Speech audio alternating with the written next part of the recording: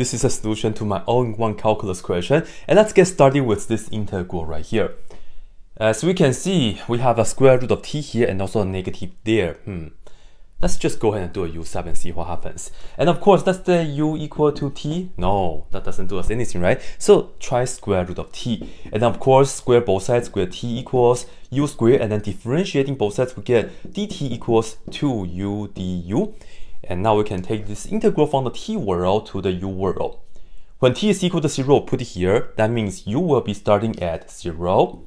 And then when we put infinity to the square root of t, we get infinity. So u will be infinity right here.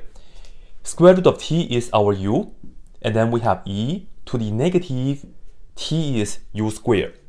And the last part is dt, which is 2u du. Hmm.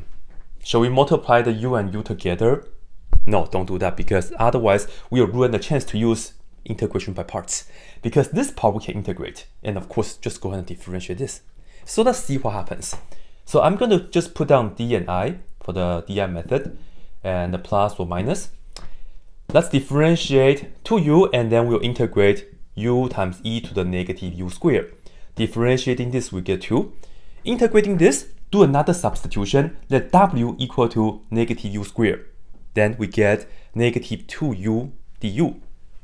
This is only a u, so let's multiply this by negative 2, and of course, divide it by that right away so that the top is just going to give us e to the negative u squared, and you can double check. If you differentiate this, you do end up with the top. And of course, don't forget the negative 1 half, the constant multiple. Well, after we have this, we can construct our answer, multiply the diagonal, that will be the first part of the answer, and now see, we will get 2 times that will just cancel, and we will have a negative, u times that, and let's just go ahead and put this on the bottom, so we have e to the u squared. This part does not have any integral anymore, and we will just have to evaluate it from 0 to infinity. And then we are going to multiply this row and put that inside of an integral. Negative times a negative gives us a positive, and then integral goes from 0 to infinity, 2 times 1 half cancel, and we just have e to the negative u squared in the u world. Now let's take a look right here. Put infinity to u here and u here, technically we have to take the limit. And if we do that, the limit as u goes to infinity of negative u over e to the u squared, you can either use the list and argue that exponential function like this, e to the u squared, is so much bigger than negative u, and you end up with 0, or you can just use L'Hopital's rule. Differentiate the top, you get negative 1. Differentiate this, you get 2u times e to the u squared, and then u goes to infinity, you still end up with 0. So that will give us 0, and when we put 0 into here, thanks to the u on the top, we will also get 0. So the first part is just equal to 0, so nice, huh? And then for this part, it's just as nice. The integral goes from 0 to infinity of this, e to the negative u squared. We have done that recently, huh? Yes. So let me just make that note right here for you guys. The version of what I did was negative infinity to past infinity. And in my previous video, I used x, so I will use x right here as well. Negative x squared. This right here, if we go all the way, we end up with square root of pi. This is the famous Gaussian integral.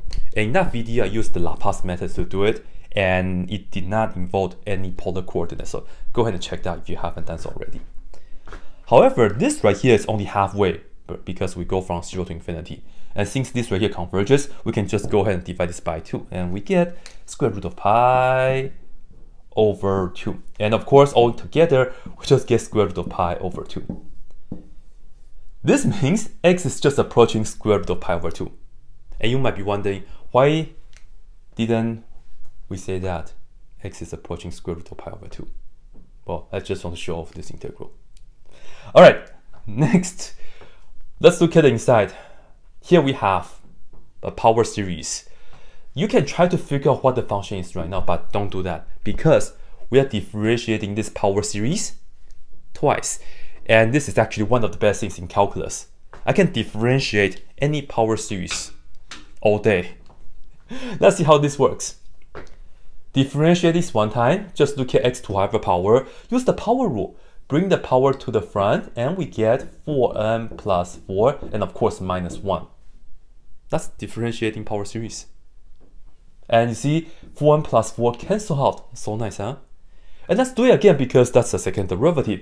So right here you see, the result is 4n um, plus 3. We will take this and then put in the front again and then minus 1. And we get 1 plus 3 here. This and that cancel. And the final power here is 4n plus 2. So all in all, this part right here, as we can see, hmm, it's going to give us what? Still a power series. And then it goes from 0 to infinity. But we only have the 2n plus 1 on the bottom. And let's write it down like this, 2n plus 1, and then the top is 1. And let's put the x to this power on the side, 4n um, plus 2. And now the question is, what is this function? Well, let's see, we have an odd number here, huh? 2n plus 1, but it does not have the factorial, so don't think about sine or hyperbolic sine. Don't do that.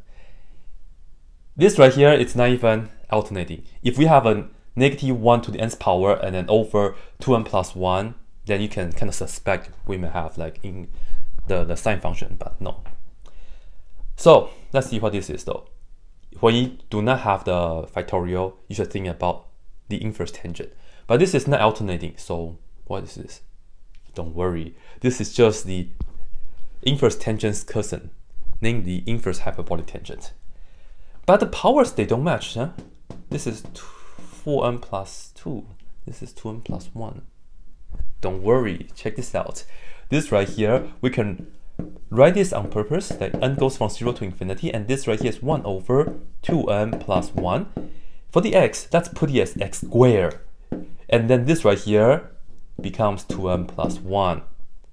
Yes, and we can say that this is not regular tangent, but rather the hyperbolic tangent. And this, as I said, is the inverse version, and the input is x squared.